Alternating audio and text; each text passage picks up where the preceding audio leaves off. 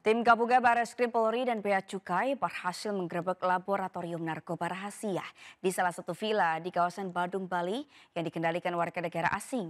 Ironisnya pengelola villa justru tidak mengetahui jika di dalam villanya ada lab dan pabrik narkoba.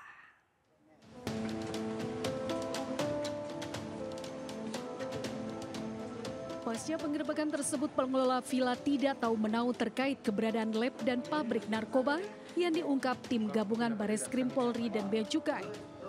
Pemilik villa bahkan memastikan tidak terlibat dalam kasus ini lantaran keberadaan bangunan rahasia menyerupai bunker bawah tanah yang ada di dalam villa sepenuhnya tanggung jawab penyewa. Pengelola sebelumnya mendapatkan informasi jika bangunan menyerupai bunker tersebut digunakan untuk gym dan mini teater atau bioskop mini.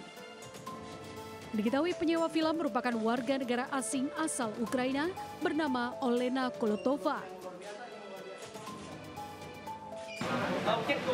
Unitnya saja, unitnya di, di kontrak selama 24 tahun 8 bulan. Ya. Unit itu didesain Diolah sendiri, diolah sendiri. Cuma pada pas pembangunannya dia uh, pesen pesen desain, pesen desain khusus nggak sama dengan yang lain. Sebelumnya telah dilakukan penggerebekan laboratorium narkoba atau clandestine lab yang dibangun menyerupai bunker bawah tanah di salah satu villa di kawasan desa Tibu Bebeng, Badung, Bali yang menggegerkan warga. Warga tidak menyangka villa seluas sekitar 180 meter persegi inilah para tersangka menjalankan bisnis haram narkoba.